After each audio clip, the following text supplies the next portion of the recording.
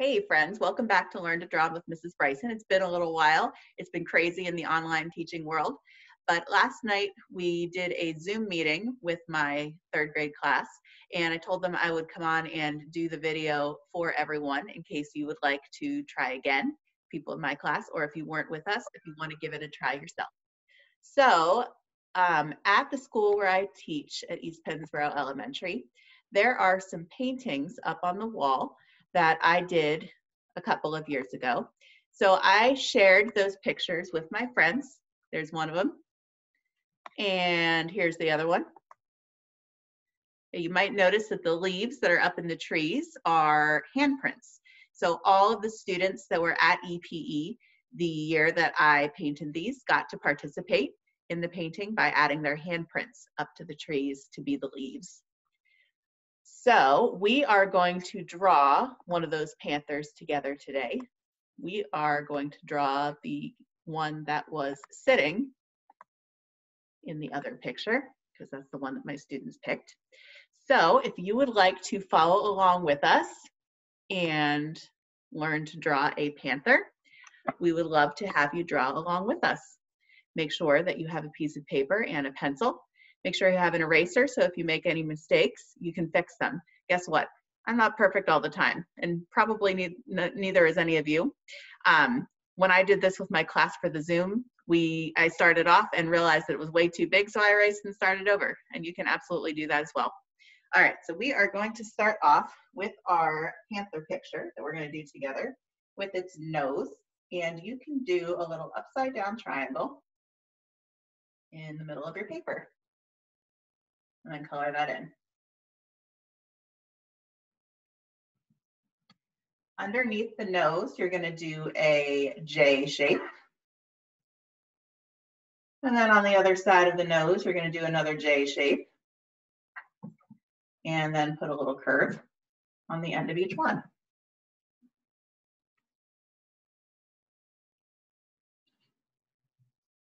All right, around the nose, we're going to do his muzzle.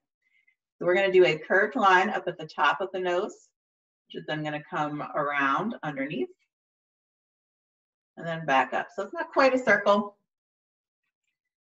not quite a triangle. I'm not really exactly sure what shape that is. Okay, but there's the muzzle for our baby panther. Okay, next we are going to add on some eyes. We need a curved line for this first eye over here, and then a curved line for the second eye over here. We need a curved line underneath,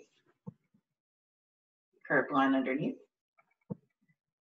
and then little small curved lines here, the outside of the eye. Inside, we need the circular shape for its eye, but we don't see the whole circle because the top of the eyeball and the bottom of the eyeball would be underneath and above where the eye is. And then a cat's eye is more slitted. That's what panthers are, wild cats.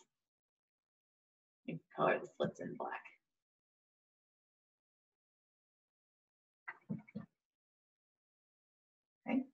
Up above each eye, we're going to add an ear.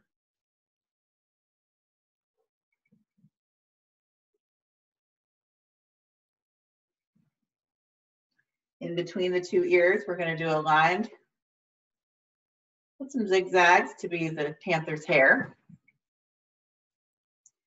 And then we're going to make a C shape around here and a backward C shape around here. But while you're doing that, you can stop every once in a while and add a zigzag to show that our panther's got some hair.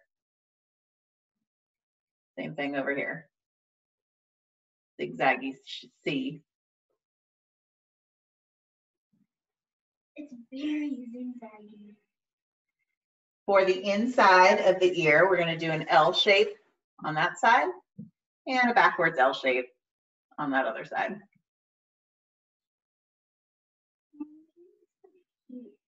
Lauren says he looks cute. I appreciate the compliment. All right, next thing we need to do is his belly, which is gonna come around down in here.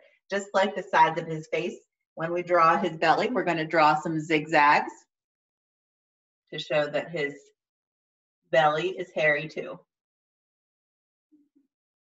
Okay, there's Panther's belly. We're gonna do just a little line right here. And we're gonna add in some legs. Okay, so we're gonna draw a line here, a line here, and some feet, but again, we're gonna add in those zigzags to show that our panther's got some hair. Okay, so we're gonna draw our zigzag down around here.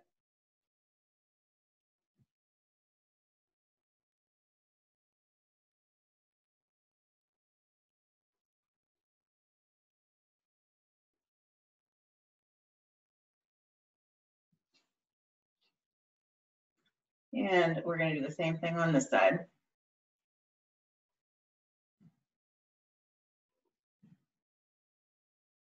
Mommy, he looks like a cat. He does look like a cat because panthers are really just big wild cats. Mm-hmm. So good, he looks like a cat. Yeah. All right, we're gonna draw a curved line around, it's gonna be his back, which is gonna curve down into his tail. You can add a couple lines for hair if you want, and curve around, down into his tail. I told you before that was a long nail. It is a long tail and back around. Okay, and then the last thing we need to add is one of his back paws. That last one is gonna be back underneath. We won't really be able to see it. Okay, so we're gonna draw a curved line. Some zigzags coming around there. We're gonna draw a curved line with some more zigzags coming around here. And then we're gonna draw that last paw.